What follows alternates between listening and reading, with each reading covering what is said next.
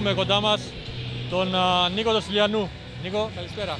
καλησπέρα. Καλή σεζόν α, πρώτα απ' όλα. Ευχαριστούμε, καλή σεζόν Εξαιρετική, να έχουμε. καλή- εξαιρετική εμφάνιση σήμερα και για σένα και για την ομάδα σου. Κατάκτηση ενός τροπέου. Εντάξει, αυτή την περίοδο ξέρουμε ότι οι εμφανίσεις μας δεν θα είναι οι καλύτερες. Ε, στόχος μας είναι να, δουλε... να εφαρμόσουμε αυτά που δουλεύουμε στην προπόνηση όσο περισσότερο μπορούμε, να βελτιωνόμαστε μέσα από το παιχνίδι και εντάξει, σίγουρα θέλαμε να κατακτήσουμε και τον τίτλο γιατί δεν πάβει να είναι ένας τίτλος. Ε, κάναμε μια καλή εμφάνιση μπορώ να πω, είχαμε κενά διαστήματα όπως είναι πολύ λογικό σε τέτοια περίοδο. Ε, η ΑΕΚ πάντα θα είναι ε, μια ανταγωνιστική ομάδα ακόμα και με τις απουσίες.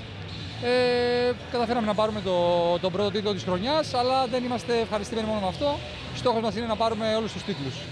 Ακολουθεί και ευρωπαϊκό παιχνίδι με την ε, Πόρτο. Μια καλή, μεγάλη πρόκληση για την ομάδα. Ε, ναι, φεύγουμε σε δύο μέρες, κατευθείαν φεύγουμε για την Εστονία που είναι το, η φούσκα που θα παίξουμε. Ε, εντάξει, εμείς έχουμε μάθει τα τελευταία χρόνια ε, να, τέτοια περίοδο να παίζουμε σε προκριματικά.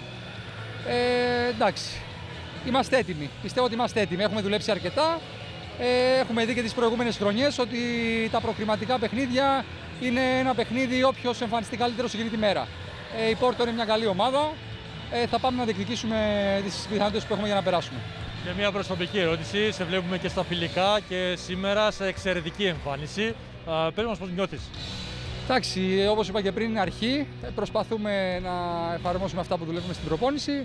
Ε, εγώ, όπως ξέρεις, δουλεύω κάθε καλοκαίρι και είμαι έτοιμος από τώρα να βοηθήσω την ομάδα μου όσο μπορώ.